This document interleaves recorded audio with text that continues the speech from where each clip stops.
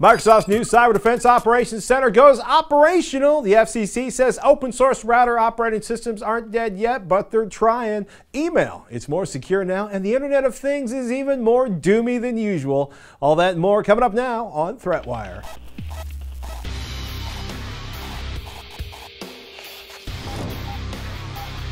Greetings, I'm Patrick Norton, and this is ThreatWire for November 17th, 2015. Your summary of the threats to our security, privacy, and internet freedom.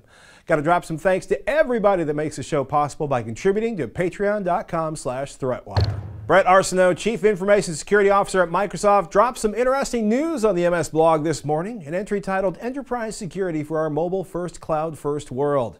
Sound boring? Well, actually, on top of calling out the billion plus Microsoft drops annually on quote security research and development, Mr. Arsenault announced that Microsoft was launching a new, get this folks, I'm quoting here, a new Cyber Defense Operations Center.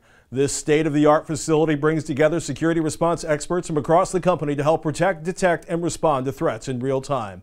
Staffed with dedicated teams 24 7, the center has direct access to thousands of security professionals, data analysts, engineers, developers, program managers, and operations specialists throughout Microsoft to ensure rapid response and resolution to security threats. Informed by decades of experience working with the industry to fight threats on a global scale, the center maintains critical connections with industry security partners, governments, and enterprise customers and engages engages Microsoft's Digital Crimes Unit when law enforcement needs arise. Okay, the voice might be making fun of that, but think about it in terms of actually dealing with massive security issues on a global platform. The idea of having one big place to bring the grid of information together sounds pretty smart, actually. Arsenault adds, quote, it's only by working closely with our partners and the security ecosystem and governments around the world that we can ensure customers and businesses are able to trust the technology they use and don't view security as a barrier to technology adoption which hopefully, amongst other things, means uh, Microsoft's going to continue to roll with bounties uh, for bugs and repairing flaws rather than lawyering up and threatening people and bringing out NDAs when security researchers find flaws in Microsoft products.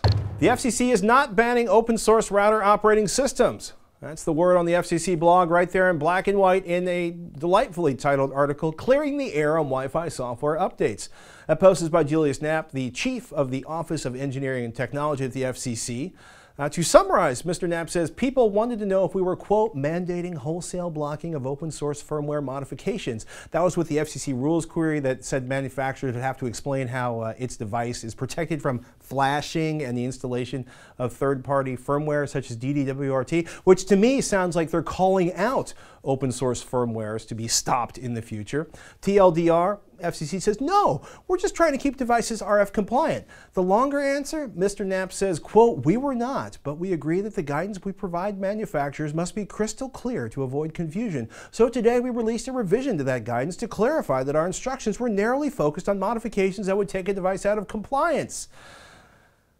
So the thing here is whether or not there actually exists any hardware that allows you to implement an open source router operating system without having access to the things that could potentially take the router out of FCC compliance. Oh boy. The future of router firmware is far from over, people.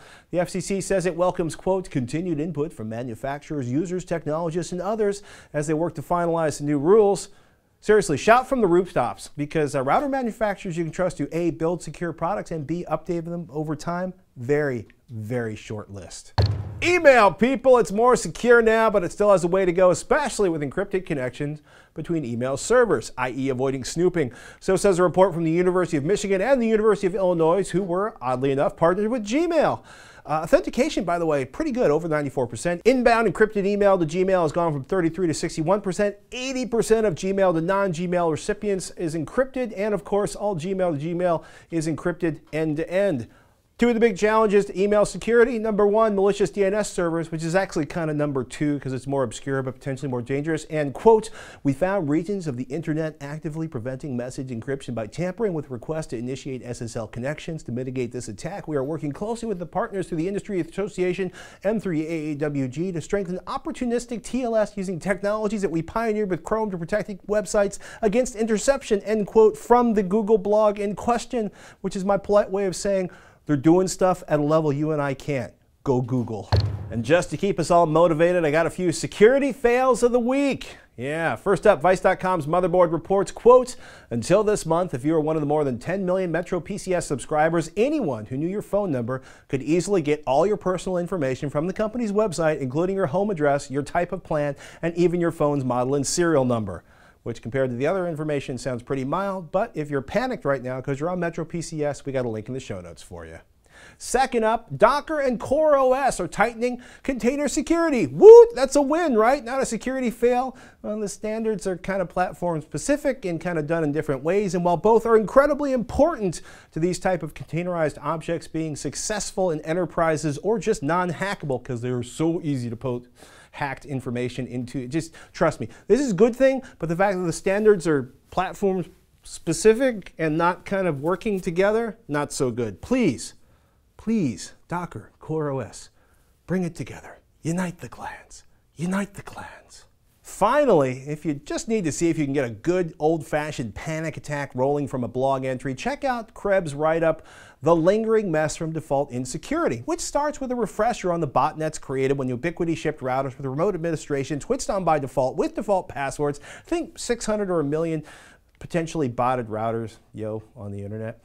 And ends with a great question from White Hat Security CTO Jeremiah Grossman, who says, quote, after the Internet of Things devices get hacked en masse, and only after billions of internet-connected devices are deployed in the wild, brace yourself, right? Here's the question. He says, quote, the question I'm asking myself today is when that day comes, and it will, how can we address the Internet of Things problem five to 10 years from now with billions of those insecure devices in circulation?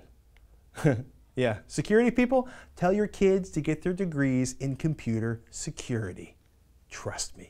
Quick reminder, if you want to get more in depth on any of these stories, and I highly suggest you do, especially that one on the Internet of Things on Krebs, look down below. We got links to all the stories in the show notes. And I got to give a big shout out to each and every one of you that supports the show on Patreon. If you find value from this and can spare a few cents an episode, please consider becoming a ThreatWire patron at patreon.com slash threatwire. We may even feature your adorable hamster like this one in our next episode. Come on. Somebody out there must have a Gila Monster pic they can send in, please. Even better than Gila Monster photos. We'll add an additional weekly episode when we hit our next Patreon milestone. It's how we keep the show coming completely independent and ad-free. Patreon.com slash threatwire. Hey, if you can't donate, a like, a share, or a subscribe go a long way too. And as always, you can find all our episodes, links to our social networks, and other ways to contribute over at threatwire.net. With that, I'm Patrick Norton, and I'll see you out on the internets. Yeah.